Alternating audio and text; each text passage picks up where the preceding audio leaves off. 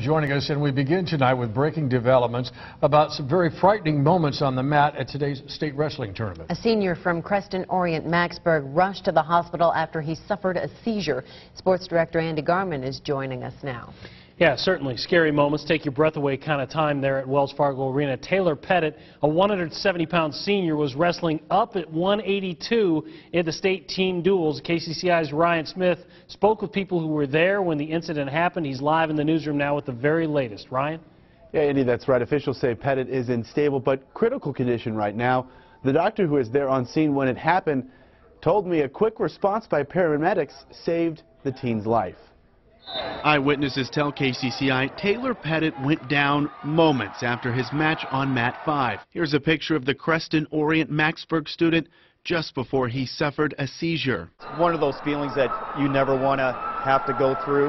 Um, thankful that the emergency staff was here, our trainer, Chris Leonard, was here. That trainer spotted Pettit struggling to breathe. The on-call doctor, Dennis Zachary, rushed to the mat for a diagnosis.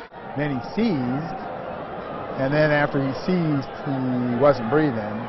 And then that's when I said, you need, you got an AED? And they go, yes, and then they grabbed it and put it on.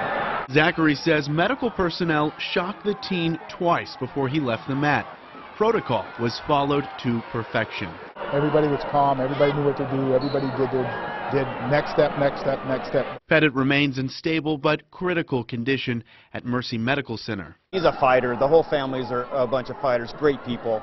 The Creston crowd tonight is thankful for the medical staff's response. The doctor on scene gives all his praise to the paramedics. Paramedics did a great job, and they need to be thanked. They saved his life.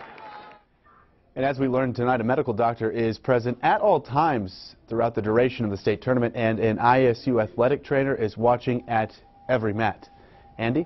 All right, Ryan Smith live in the newsroom. Thank you very much. Later on in sports, Tony Seaman will join me with the winners from tonight's state team duels championship.